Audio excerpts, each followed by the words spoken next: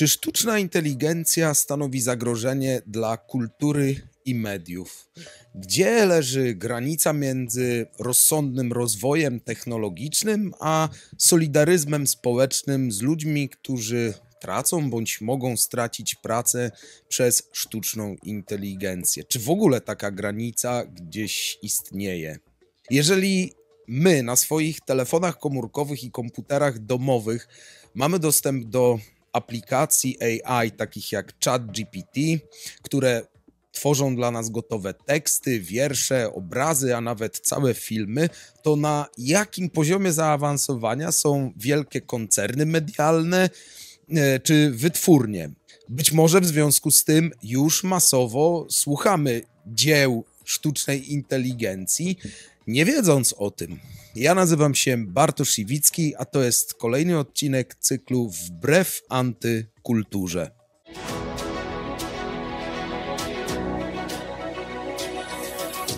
Sztuczna inteligencja i jej powszechne wykorzystanie również w świecie mediów i kultury to temat rozległy, którego naprawdę nie mam szans nawet trochę y, wyczerpać w tak krótkim cyklu publicystycznym jak ten.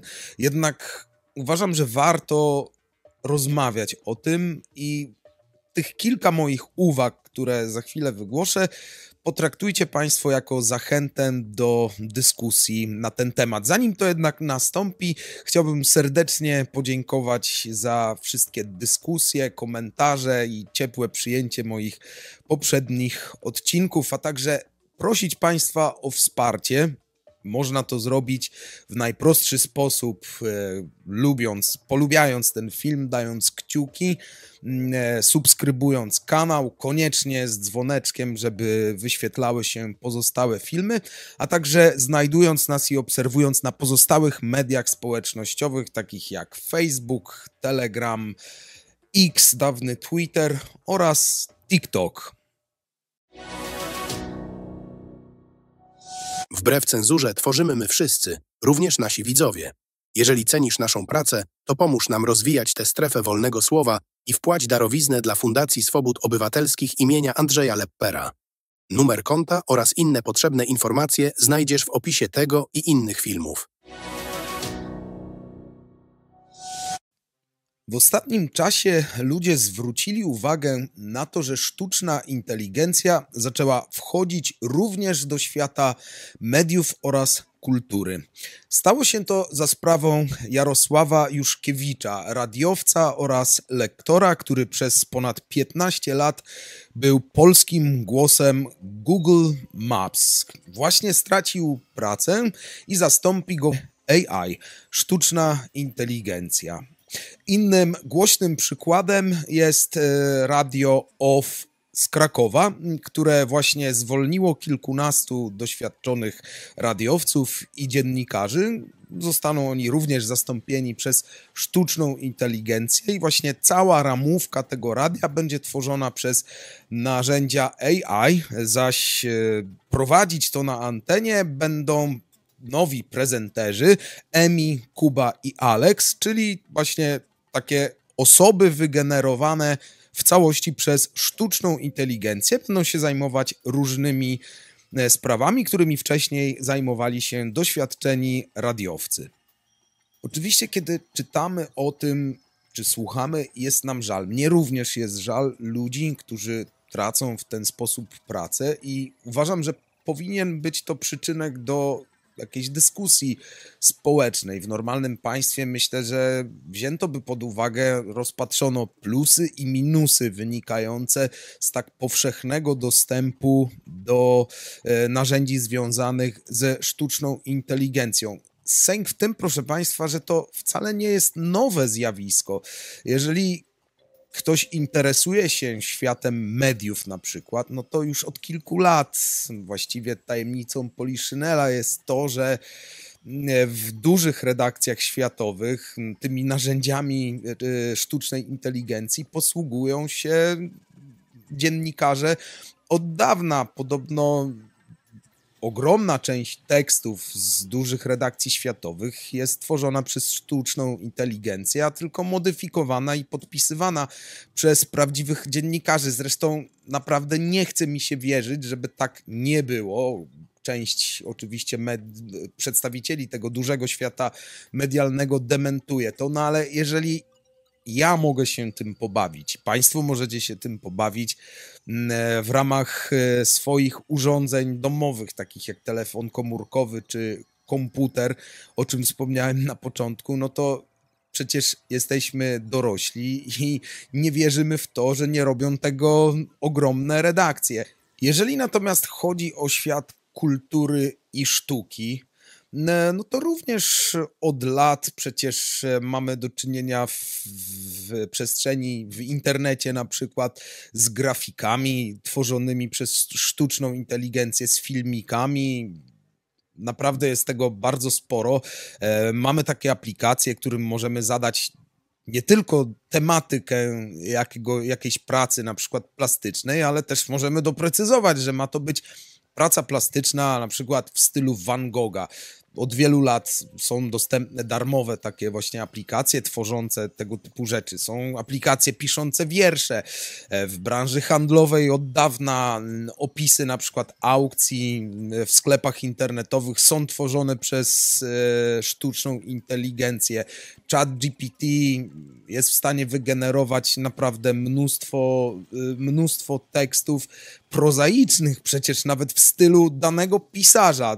To o tym wiemy już od dawna. Jeżeli na przykład chodzi o branżę muzyczną, którą się interesuje, to mm, e, dokładnie rok temu Rick Beato, czyli taki bardzo znany producent amerykański, mm, umieścił na swoim kanale YouTube film, w którym przewiduje e, to, w jaki sposób sztuczna inteligencja zawładnie branżą muzyczną. Ja tak słuchałem tego z lekkim niedowierzaniem, e, ponieważ e, pan Rick Beto powiedział, że przeprowadził takie doświadczenie. Wygenerował na zaawansowanych, e, na zaawansowanej aplikacji mm, ze sztuczną inteligencją utwory, które rozesłał swoim kolegom po fachu. Zdaje się sześciu producentom. Również zaznaczył, że to były osoby znane nazwiska, których oczywiście nie podał, ale osoby z wieloletnim doświadczeniem w branży i każdemu wysłał 10 utworów, z których 5 było wygenerowanych przez sztuczną inteligencję, a 5 to były nieznane utwory nagrane u niego w studio i rezultatem eksperymentu było to, że spośród sześciu znanych producentów muzycznych, tylko jeden z nich, zajmujący się również e, sztuczną inteligencją, był w stanie precyzyjnie wskazać, które z utworów były wygenerowane przez aplikację AI, a które naprawdę nagrane Urika Battle w studio. E, no, wniosek był zatrważający właściwie można wygenerować muzykę, która do złudzenia przypomina prawdziwą muzykę. Mało tego, może przypominać do złudzenia prawdziwego wykonawcę. Jest, e, proszę Państwa, mnóstwo absolutnie zaskakujących filmików w sieci, gdzie na przykład możemy możemy popatrzeć, jak nieżyjący już artysta, na przykład Elvis Presley czy Freddie Mercury, zaśpiewałby jakąś znaną piosenkę radiową. Ostatnio gdzieś mignął mi filmik, y, gdzie ktoś stworzył za pomocą narzędzi sztucznej inteligencji y, utwór zespołu System of a Down śpiewany przez Frediego Mercurego. No, Słuchałem tego z niedowierzaniem, ponieważ ten głos naprawdę do złudzenia przypominał głos Frediego Mercurego. Zatem możliwości e, AI, sztucznej inteligencji pod względem kreowania mm, sztuki i kultury są naprawdę imponujące. Sam złapałem się na tym, że zastanawiałem się ostatnio, czy słuchając e, nowej płyty jednego z ulubionych wykonawców, tak naprawdę nie, nie słucham wytworu sztucznej inteligencji. No być może będę się na tym łapał jeszcze częściej, no ale przecież nie o to chodzi, żeby zabijać sobie w ten sposób przyjemność z obcowania e, ze sztuką. Co zatem możemy zrobić my, czyli odbiorcy kultury, odbiorcy mediów. No nic nie możemy zrobić jako realiści. Musimy przede wszystkim zdać sobie sprawę z tego, że nie możemy zrobić nic, by zatrzymać postęp. No, na przestrzeni wieków próbowano już wiele razy, to się nigdy nie udało i my rozwoju technologicznego nie zatrzymamy, w związku z czym walka z nim jest pozbawiona sensu. Każdy kolejny duży rozwój technologiczny pozbawiał niestety część ludzi pracy. W tej chwili po prostu przez sztuczną inteligencję przyszedł czas na świat mediów i kultury. My, jako odbiorcy, możemy zrobić tyle, żeby sięgać po media i kulturę tworzone przez ludzi, do czego zachęcam. Bądźmy właśnie to, o czym często pisałem w swoich felietonach i o czym już Państwu mówiłem starajmy się być czytelnikami, widzami, słuchaczami kultury, e, odbiorcami mediów świadomymi, a nie konsumentami informacji czy konsumentami kultury. Przez kilka ostatnich dni sporo o tym myślałem, bo ta sytuacja dziennikarzy zwolnionych e, z Radia OFF w Krakowie faktycznie poruszyła mi i z jednej strony naprawdę jest mi ich tak po ludzku żal. Natomiast z drugiej strony moje, moje poczucie humoru podpowiedziało mi nieco inną refleksję. Weźmy ten świat medialny. Nie muszę tłumaczyć widzom kanału wbrew cenzurze, że Świat medialny jest absolutnie przeżarty kłamstwem i zmanipulowany do granic możliwości. Zatem AI, sztuczna inteligencja, okej, okay, zdaje mi się to w pewnych przypadkach dużo bardziej uczciwe intelektualnie wobec odbiorców niż stawianie żywych ludzi do przekazywania tych kłamstw. No bo, proszę Państwa, tak zupełnie serio. Rynek medialny podaje nam w większości zmanipulowane informacje bądź kłamstwa par excellence. Czy nie byłoby o wiele zabawniej, ale też uczciwiej, gdyby podawały nam te informacje jakieś cyborgi, czy właśnie prezenterzy wygenerowani przez sztuczną inteligencję? Właśnie, ludzie, którzy nie mają problemu z tym, że i tak są okłamywani przez świat mediów, myślę, że też nie mieliby problemu z tym, że na przykład te informacje są podawane przez cyborgi, ale wydaje mi się, że być może części z odbiorców, z części może nawet z konsumentów informacji, otworzyłoby to oczy. Nie wiem, nie wiem jak Państwa, ale mnie troszeczkę bawi właśnie ta wizja e, cyborga siedzącego w TVP czy TVN, podającego te e, brednie e, z jednej czy z drugiej strony sceny politycznej. To wywołuje we mnie jakiś taki szczery uśmiech. Kultura, świat kultury, kiedy śledzę jej masowe wytwory, to naprawdę czasem ogarnia mnie przerażenie. E, dużych radiostacji nie słucham już od dawna.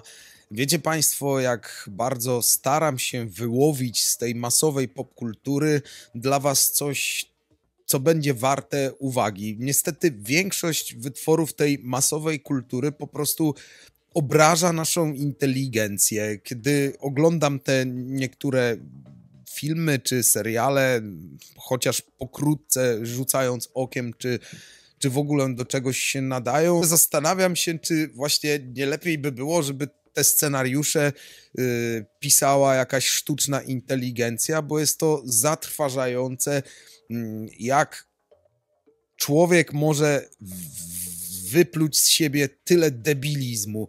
Podobnie jest z muzyką. No, kiedy słucham współczesnych kawałków, utworów prezentowanych w radio czy na e, platformie YouTube. Niektóre rzeczy mają tam niesamowite ilości wyświetleń. Ostatnio trafiłem na kilku młodych polskich wykonawców mających po 60 kilka milionów wyświetleń. To nam się to w głowie nie mieści. Niektóre kawałki Michaela Jacksona czy Elvisa Presleya nie mają tyle wyświetleń i e, przeanalizowałem sobie kilka takich tekstów, to naprawdę zastanawiam się, jak, jak to się stało, co poszło nie tak, czy osoba wyśpiewująca takie brednie, nie wiem, może normalnie w życiu funkcjonować, ona, nie wiem, równocześnie oddycha i mówi, funkcjonuje wśród ludzi, nie je swojej kupy i żyje w jakiś sposób, no, zatrważające rzeczy, które czasami też skłaniają mnie do myśli, że być może właśnie powinna się tym zająć jakaś sztuczna inteligencja. To oczywiście żarty, darujcie Państwo e, moje bezpośrednie poczucie humoru, natomiast zmierzam do tego, że być może taka prawdziwa kultura, sztuka, muzyka, film, książka stanie się wkrótce czymś na kształt rękodzieła. E, przecież zostało ono swego czasu wyparte przez y, technologię.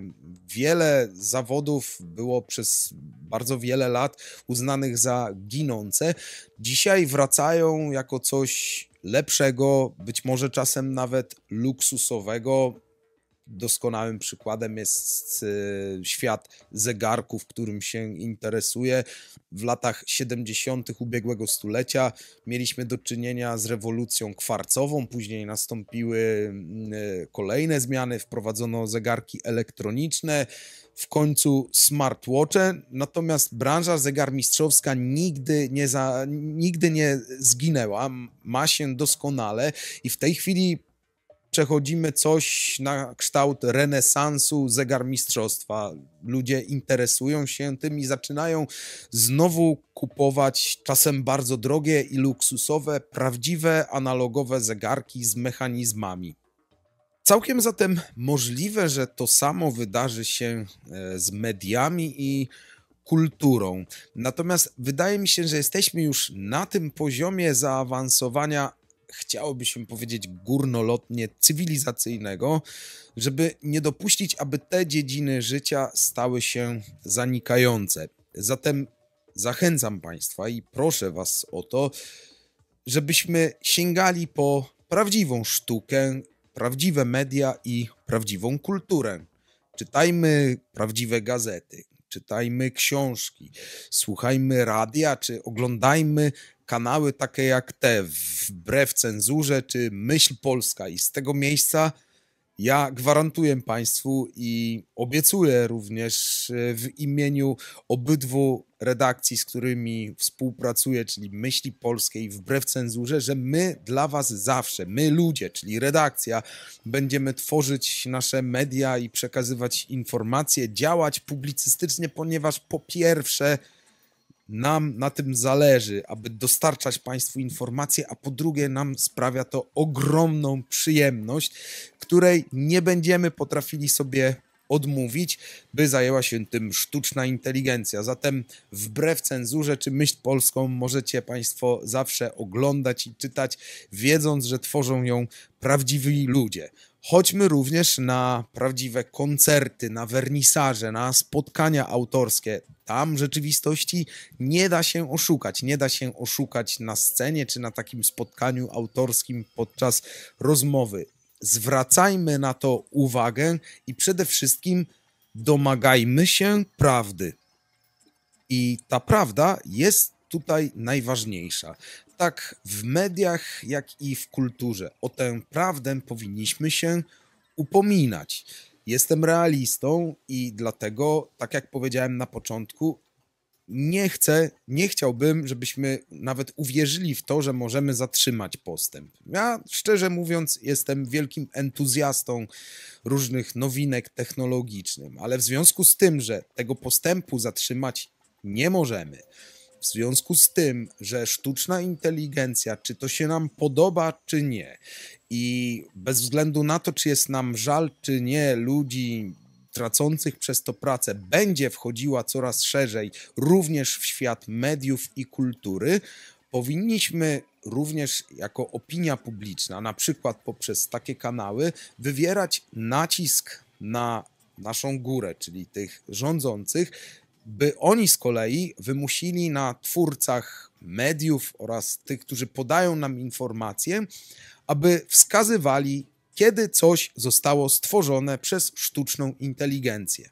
To jest właśnie ta elementarna uczciwość, ta prawda, która powinna leżeć u podstaw tego. Bo czy tutaj chodzi o prognozę pogody, czy o publicystykę, czy o kulturę, film, muzykę i różne inne dziedziny życia, w które sztuczna inteligencja wchodzi i wchodzić będzie, uważam, że my, jako odbiorcy, mamy prawo wiedzieć, czy coś zostało stworzone przez człowieka, czy wygenerowane przez sztuczną inteligencję.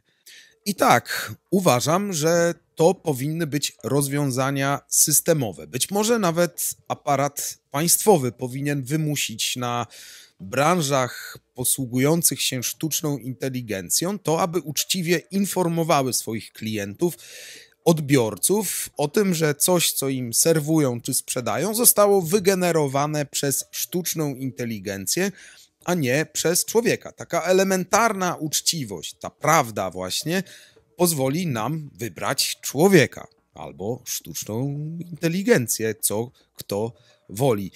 Ja oczywiście będę Państwa zachęcać do tego, aby sięgać po wytwory ludzkiej wyobraźni i ludzkiego umysłu, ponieważ cytując mecenasa Kwiatkowskiego, zamiast dziś machnąć ręką, lepiej zawczasu ruszyć głową.